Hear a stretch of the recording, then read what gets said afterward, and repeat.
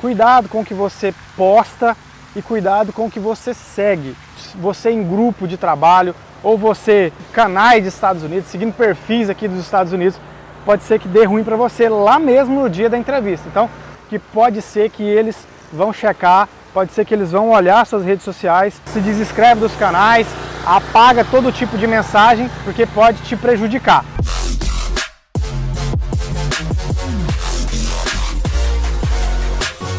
Fala galera, sejam muito bem-vindos a este vídeo e este canal. Para você que não me conhece, eu sou o Geraldo Afonso, moro aqui nos Estados Unidos há mais de 5 anos e documento a minha rotina através de vídeos e através do YouTube para você que tem esse sonho de morar e viver aqui nos Estados Unidos e também criar sua família, vir para cá conhecer uma cultura nova, uma cultura diferente. Eu estou aqui sempre para ajudar você a chegar nesse objetivo com dicas, com experiências, com história de vida e com a minha própria experiência também. Eu sempre gosto de gravar vídeos para vocês mostrando o ambiente, mostrando a paisagem. E hoje está um dia um pouco nublado, né? E eu resolvi sair para gravar vídeo para vocês, para mostrar mais coisas aqui dos Estados Unidos. Olha só como são as casas aqui, gente. De frente para a rua, não tem muro, viu? Aqui, ó, a rua é aqui e as casas são aqui.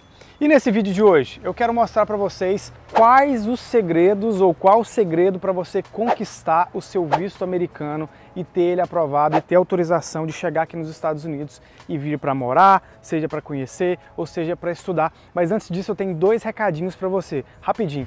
Dia 10 de julho às 8 horas, horário de Brasília, eu vou fazer uma live aqui no YouTube te mostrando todo o caminho, todo passo a passo aprofundado para você ter as chances claras e palpáveis de conseguir o seu visto americano e ter chance de ser aprovado muito mais do que 90%. Então eu te convido para vir nessa live porque todo esse tempo, esses cinco anos que eu estou aqui, eu adquiri muitas experiências conversando com muitas pessoas e quando eu fui tirar o meu visto também no Brasil, eu soube os mecanismos para que o meu visto fosse aprovado. Então eu quero te ajudar também a ter esse visto aprovado. Então clica aqui embaixo, primeiro link da descrição, faça a sua pré-inscrição para esse evento que vai acontecer lá e nesse dia lá eu vou te dar a oportunidade para entrar para a imersão do visto americano, que vai ser uma imersão mesmo de quase dois meses de conteúdo Toda semana eu vou estar trazendo para você oportunidades de visto de trabalho, vistos de negócios, visto de turista, visto de estudante e além de você participar de um grupo de network incrível. Então clica aqui no primeiro link, é de graça, garanta sua pré-inscrição, é, que são vagas limitadas. Obrigado, amigo. Você é um amigo. O segundo recado é que se você está à procura de uma assessoria de visto americano, eu estou aqui para indicar uma da minha confiança, uma empresa séria que já tem experiência no mercado, o índice de aprovação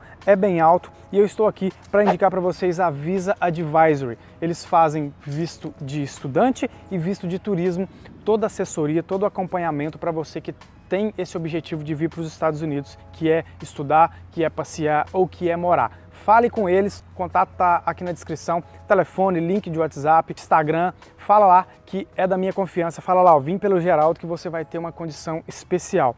Ele é, te orienta. E além de toda a assessoria personalizada, ainda vai te acompanhar durante todo o processo e vai te orientar de acordo com o seu perfil sobre qual tipo de visto é melhor. E um dia antes eles vão fazer entrevista com você para te orientar de acordo com o seu perfil, o que, que você tem que falar no dia da entrevista. Então a primeira dica que eu tenho para falar para você que quer vir para os Estados Unidos e conseguir o seu visto americano é você tem que decidir qual tipo de visto você quer, de acordo com o seu perfil. Eu quero de turista, eu quero turistar, eu quero conhecer, eu quero sentir lá os Estados Unidos, eu quero passar seis meses lá dentro dos Estados Unidos para eu ver se é isso mesmo que eu quero. Então é o de turista, menos burocrático, é mais barato, porém hoje a fila de espera está aí quase um ano e meio. Se você entrar com o pedido hoje, você vai esperar aí quase um ano e meio para ir para a entrevista para ver se o visto vai ser aprovado ou não. Essa é a primeira opção. E depois, visto de estudante, que hoje é um, um dos vistos mais atrativos, mais rápido e mais provável de ser aprovado. Por quê? Você precisa só preencher alguns requisitos, não precisa de tanta burocracia e você tem que ter somente um valor para provar que você consegue se manter aqui pelo tempo que você falou que iria estudar aqui. Plano de três meses, de seis meses, de um ano, de acordo com o tempo que você foi estudar aqui, você tem que provar financeiramente. E pode estudar somente um curso de inglês normal, não precisa fazer faculdade. Então, nesse caso, o visto de estudante é um visto muito atrativo e tem datas de entrevista todo mês muito mais rápido. Glória a Deus. E tem um visto de trabalho, que já é algo mais específico, você tem que ter um valor para você investir, você tem que depender de uma empresa para te contratar. Então, esses três tipos de vistos são os mais comuns, os mais de entradas que está disponível para você ir. Escolher um desses aí, o segundo passo é preencher os formulários. O segundo passo é preencher os formulários da DS 160, que no caso, se você não tiver a autoridade ou conhecimento para preencher, eu te aconselho contratar alguém que entenda, uma empresa de assessoria ou uma pessoa. Por isso que eu falo para vocês, invista. É melhor você investir agora para não ter erro do que você tentar sozinho e dar com a cara na parede. Já avisei que vai dar merda isso. Por isso que quando eu fui fazer a minha, eu investi, contratei uma empresa de assessoria e tive o visto aprovado de primeira. Então eu estou aqui agora indicando a Visa Advisor, que é a empresa que eu conheço, que eu confio, por isso que eu estou falando para vocês, não errem, não vá, não tente sozinho, é tudo em inglês, você tem que saber quais é, a, a, os dados que vocês colocam em relação a trabalho, a estadia aqui, a lugar, então vai com quem entende que eles lidam com isso todo dia. Mas aí fica a seu critério. Terceira parte, separe uma pasta de documentos para você levar para o dia da entrevista. O que? Passaporte, RG, CPF, título de eleitor, comprovante de endereço, comprovante de renda. Eu fiz isso. Eu peguei todos os documentos que eu tinha em mãos, que eles poderiam eventualmente me perguntar lá no dia e pedir para me mostrar.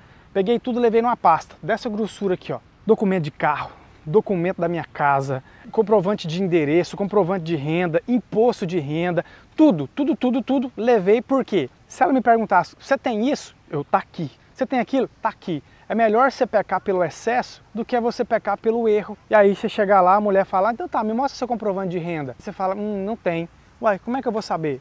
Então, tá aqui.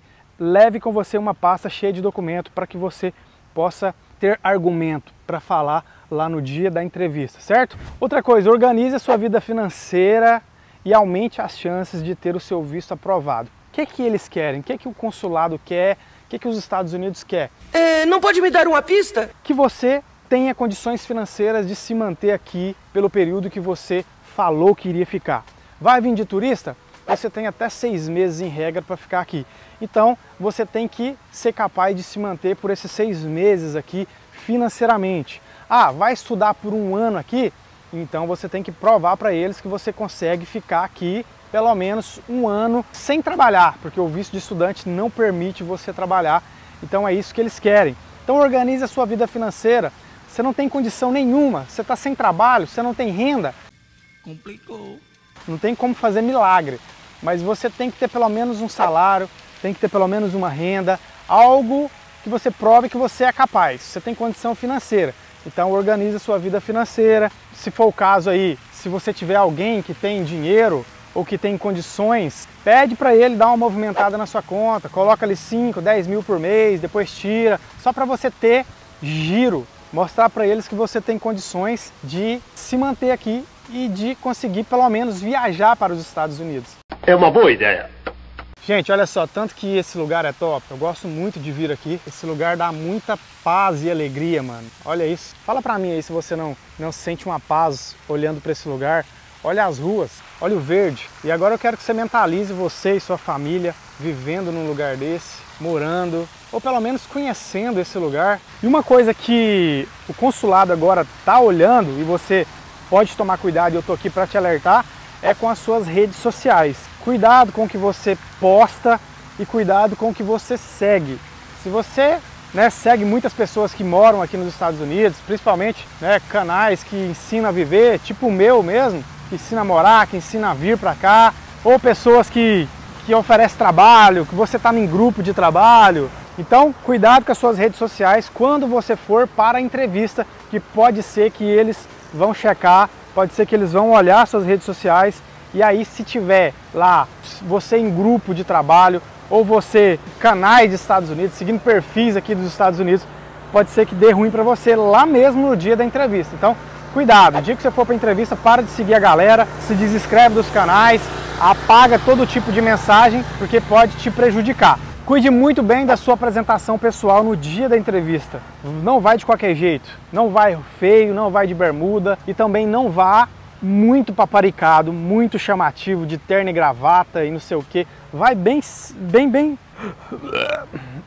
Vai bem aparentado. Vai bonito, alinhadinho, roupinha passada, barbinha feita, cabelinho penteadinho, para você mostrar uma boa aparência, porque a imagem é a que fica. É a sua imagem que você vai passar para o cônsul para ele te avaliar e ver se você é capaz de entrar nos Estados Unidos ou não. Então isso é muito importante. E hoje é provado, né, por dados aí cientificamente que a pessoa que contrata um profissional ou uma empresa para fazer esse tipo de procedimento tem muito mais chance de ter o seu visto aprovado do que quem faz sozinho de qualquer jeito, sem saber. Então, mais uma vez, eu vou deixar aqui para vocês embaixo a Visa Advisor, que é a assessoria de visto da minha confiança, que vocês podem ir. Os valores são muito acessíveis e o pessoal lá é capacitado para te atender e tem um ótimo atendimento e experiência de mercado. Então, clica aqui embaixo no, no link abaixo e contacte, ligue, peça orçamento e fala que veio por mim que você vai ter uma surpresa, um descontinho lá bem especial. Aí. E amigo. O cara tá tra trabalhando, cortando a grama, gente, ó. Pensa o tanto de grama que tem aqui. O tanto que não precisa de trabalhador, principalmente de jardineiro. É, os caras trabalham aqui, ó. De 15 em 15 dias eles vêm cortar a grama aqui. Galera, o que, que vocês acharam dessas dicas, desse vídeo? Comenta aqui pra mim, pra ver se foi legal, pra ver se valeu a pena, se te ajudou a começar o seu planejamento. E não se esqueça que dia 10 do 7 vai ter uma live incrível e aqui embaixo no link também faça a sua pré-inscrição para você não ficar de fora. E no mais, deixe aqui no comentário uma sugestão de próximo vídeo que você quer, que eu vou estar tá gravando aí. E aquele abração, tamo junto, tchau!